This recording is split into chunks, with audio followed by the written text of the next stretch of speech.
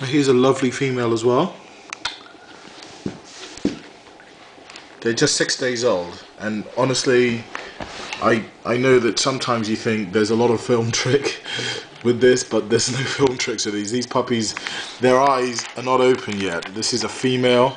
It's a really really good breed. You can see the eyes are not open yet. They are six days old. You can even see the pinkness.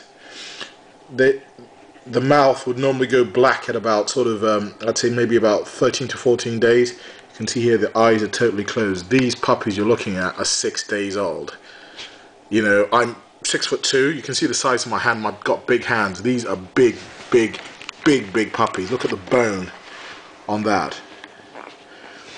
Really, really good pigment. Say hello. Hello. Wave. Hi, guys. Hope you're all cool. Just want to say, if you're going to offer me a home, you gotta be good to me. If not, my dad's gonna kick your butt. That there we have it. Six day old female. Beautiful.